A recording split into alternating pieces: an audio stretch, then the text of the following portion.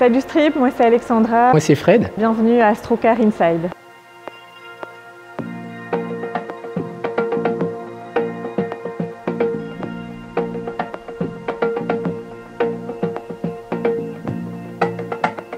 On a trouvé euh, cet espace qui est un ancien supermarché. Très très connu à Bruxelles. Il est mythique au sens mythique M-E-E-T-I-C parce que euh, tout le monde euh, venait faire ses rencontres dans les files et les caisses pour faire ses achats.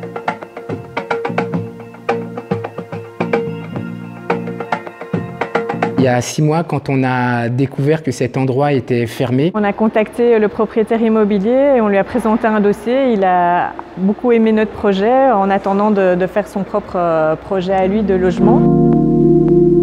C'est un bâtiment qui était une ancienne patinoire en 1908 euh, et, aujourd'hui, ben, ça va devenir un, un, temple des arts urbains. On s'est dit, voilà, on va créer un lieu qui mixe les codes du musée, de la galerie, du parcours de fresques, des installations, on va y faire des conférences. Il y a 5000 m2 ici.